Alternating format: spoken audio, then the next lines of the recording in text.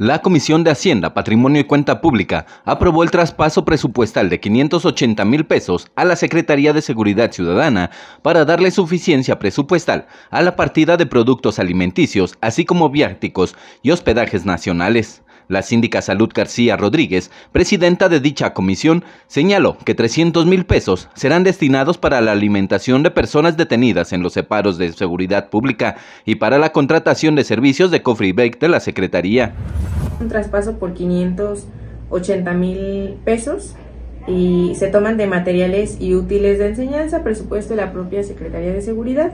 y se le da suficiencia eh, a productos alimenticios por 200 mil pesos eh, para la, eh, bueno, son 300 mil pesos en total, perdón, y esto es para Coffee Break y también para el servicio de alimentos para las personas detenidas, ya sea por faltas administrativas o por puestas a disposición por la presunta comisión de algún delito. ¿Esto de Coffee Break de qué es?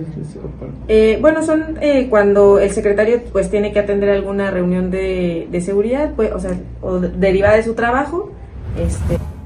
Los 280 mil pesos restantes se dividen en 100 mil pesos para viáticos nacionales requeridos para las dirigencias que tenga que cumplir el secretario de Seguridad o el personal adscrito a esta dependencia, otros 100 mil pesos para alimentos y hospedajes y 80 mil para papelería.